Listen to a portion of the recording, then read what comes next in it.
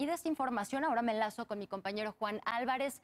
Él nos tiene un reporte importante eh, de una caravana migrante, la caravana migrante en su paso por, por allá, por tu estado, Chiapas. Te escuchamos, Juan. Buenas tardes. Alejandra, ¿cómo estás? Buenas tardes. Comentarte, bueno, el día de hoy, por fin, luego de tres días de espera de la primera caravana de migrantes de cubanos centroamericanos que llegó a Mapastepec, luego de recorrer 90 kilómetros desde Tapachula, Chiapas, el día de hoy iniciaron ya los trámites oficiales para la entrega y recepción de las tarjetas de ayuda por razones humanitarias que otorgará el Instituto Nacional de Migración a alrededor de 2.000 migrantes que integraban esta caravana.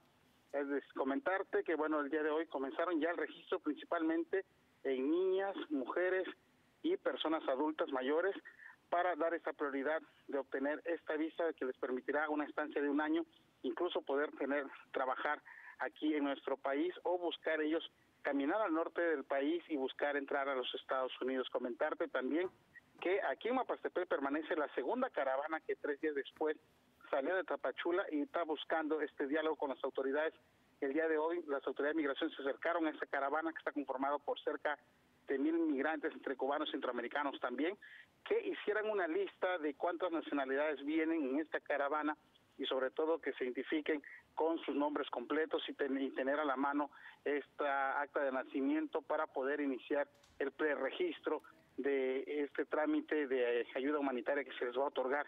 Es decir, podría también tener esta opción la segunda caravana y ser un promedio de 3.000 migrantes entre centroamericanos y cubanos que pudieran obtener este permiso migratorio que otorga nuestro país, Alejandra. Muy bien, gracias por la información, Juan. Estaremos pendientes de la trayectoria de este grupo de migrantes que están allá en Chiapas. Buenas tardes, Juan. Claro que sí, buenas tardes.